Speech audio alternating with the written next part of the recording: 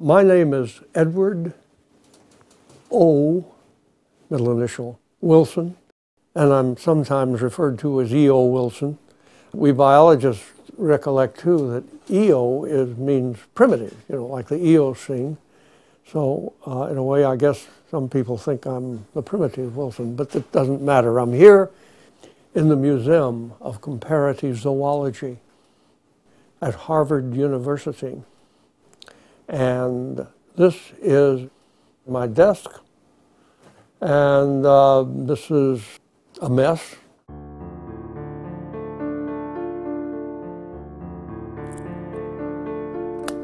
But I'm told that that's a sign of an active mind.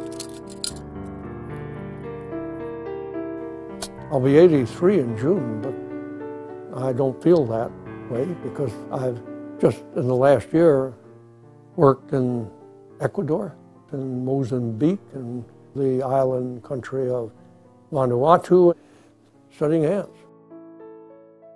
Plenty of new species. I happen to have hit upon ants, believe it or not, when I was nine years old. Ants, being very small, attracted me, well, partly because I have vision in only one eye. I had an accident with a fish while I was fishing. So I haven't been too good at spotting things, you know, in the distance or parallaxing. But once I got interested in ants, I couldn't let go of them. Well, that's because I, I never discovered a fact I didn't love.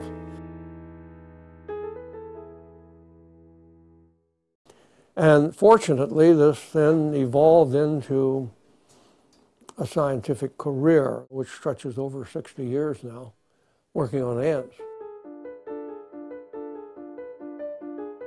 There are 14,000 known species of ants, and I've studied quite a few of them. In fact, I've discovered and given a name, a Latin name, to 450 of them. This is the biggest ant collection in the world. We have perhaps a million specimens. Discovering a new species is nothing to, the, to us working in a museum like this. They, in fact, are a bit of a burden. But, you know, what science, good science, gets done without going through a lot of tedium? When I studied the classification and distribution of ants, I came up with ideas and principles out of that about the origin of the human condition. I don't feel as though that's um, an Einsteinian advance or a quantum mechanical advance. For me, it's common sense. But I've been through two uh, episodes in which I've had substantial numbers of colleagues, how shall I put it, peeved. The first one was sociobiology. And that simply said that human beings have a nature, that we have instincts. Well, in the 70s, as I discovered, um, that was not popular among social scientists. In fact, they, the social scientists generally held the view that, that everything is determined by culture, history, and the circumstances of the environment in which people grow up. Well, that was manifestly wrong, even in that time. But the second one is much more recent, and that's the one on uh, the subjects of kin selection and new ways of approaching the origin of altruism. When we finished with the two mathematicians I was working with, one crucial meeting especially, I then called on Darwin and I said, do you agree with everything we've concluded?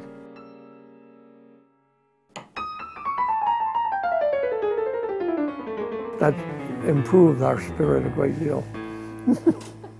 But Schopenhauer put it just right. Uh, all truth, if that's what you're dealing with, are met first with ridicule, then with outrage, and finally with the acceptance saying, well, it's essentially what we knew all along. So we're now, I would say, very much in the middle of outrage. But I notice some of them are entering the next phase. If that's the way it gets settled, that's just fine with me. This is a backwoods fiddle. Um, you know, we're going to lose a lot of Earth's biodiversity. It's almost inevitable. But I'm hoping that uh, we're beginning to wake up. I don't think I'm any different from anyone else.